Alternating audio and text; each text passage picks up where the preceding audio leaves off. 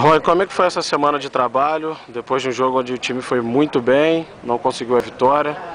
Como é que foi esse trabalho com o elenco todo? Foi uma semana boa, uma semana tranquila, né? apesar do, do, do resultado negativo em Brasília. Mas ficamos confiantes pela postura da equipe lá, né? pelo que a equipe apresentou. E a semana, a, a semana de trabalho foi excelente. Né? Nós comentamos até ontem com os jogadores se nós tivermos o mesmo empenho que nós tivemos durante a semana nos, nos trabalhos, com certeza a gente fecha no sábado com um resultado positivo. Em relação ao próximo jogo, Ipatinga, é, o que, que você conseguiu, você conseguiu achar informações do time, já posicionou seus jogadores em relação à melhor maneira de enfrentá-los?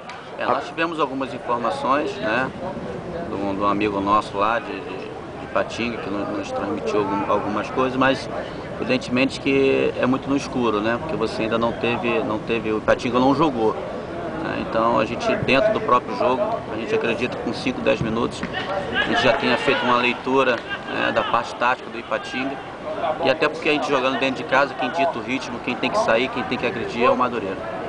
Entendi. E, bom, como você frisou, primeiro jogo do Madureira em casa, na competição. Depois o Madureira fica duas semanas sem jogar, descansa na tabela. Como é que é, tá sendo esse planejamento aí para vocês? Primeiro, é importante que você ganhe o jogo. Até para que você tenha essa semana aqui de folga dentro da competição para você trabalhar com calma, com tranquilidade. Né? É importante que a gente feche com três pontos.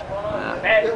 E a gente espera que, no próximo jogo, dentro de casa também contra o Macaé, a gente possa chegar aí a seis pontos, já que a gente vai ficar duas semanas trabalhando, focando o jogo contra o Macaé.